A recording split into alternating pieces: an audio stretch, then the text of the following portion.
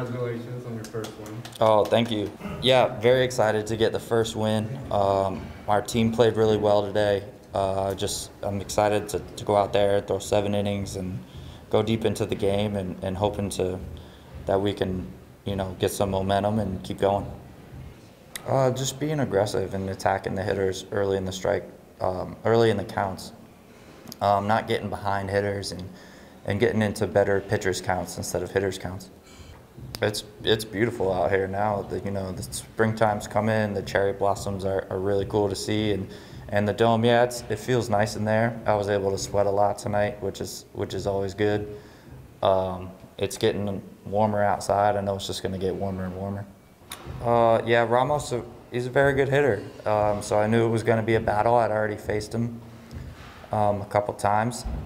And so I knew it was going to be a battle. He knows what I like to throw, and, and I know what he's trying to do in the box. And yeah, Junior out there, he's amazing. Um, he makes some great catches all the time. He's already made a bunch of them this year. He's such a good center fielder. So anything that goes up in the air, you know, you pretty much know he's going to get to it. Uh, we talk about everything, honestly. Um, I ask him what you know what it's like to pitch here. Um, how the different teams are. You know, I pick his brain about hitters, um, how he likes to approach, you know, things. Obviously, he's been here for two years. This is his third, so I just kind of pick his brain about anything I can.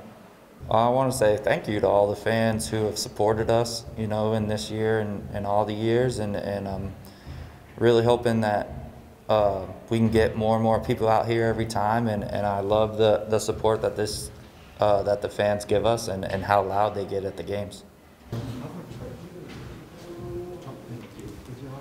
Thank you.